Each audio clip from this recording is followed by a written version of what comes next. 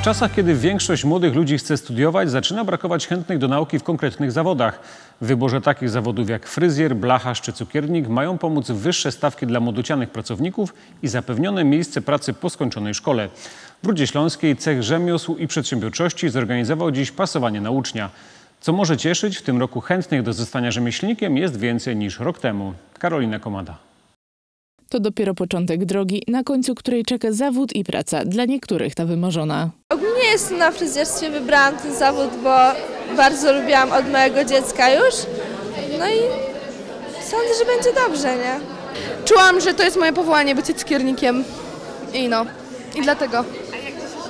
Szkoła zawodowa daje młodym ludziom możliwość praktycznej nauki zawodu już od pierwszego roku. Trzy lata nauki, egzamin czeladniczy, później ewentualnie e, lata uzupełniające i egzamin mistrzowski. Tu chodzi o to, żeby mieć fach w ręku i jest teraz naprawdę dobra oferta e, tej edukacji i zwłaszcza naszej w Rudzie Śląskiej, e, że dają to, daje to możliwość takiego bardzo ciekawego nauczania, czyli i teoria w szkole, ale praktyka u mistrza, który szkoli.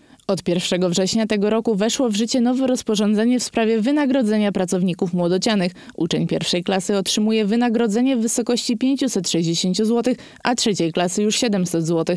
To wzrost stawek o około 50%. Być może również dlatego w tym roku szkolnym do ludzkich szkół zawodowych dołączyło prawie 30% więcej uczniów niż w zeszłym roku. Niestety nie zmienia to faktu, że pomału niektóre zawody, takie jak kowalstwo artystyczne czy jubilerstwo, wymierają. Niektóre zawody y, są takie niszowe, jak na przykład, ale jeszcze mamy dwa zakłady krawieckie. Y, y, y, Część za, zawodów zanika, ale pokazują się nowe restauratorzy, kucharze, powiedzmy przeróbstwo mięsa i tak dalej.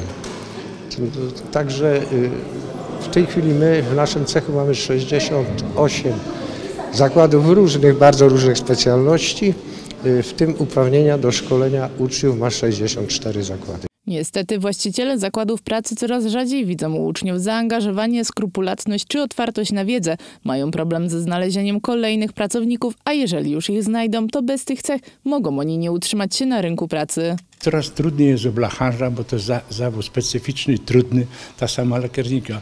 Ja dzisiaj bym zatrudnił paru pomocników do lakieru, nie ma.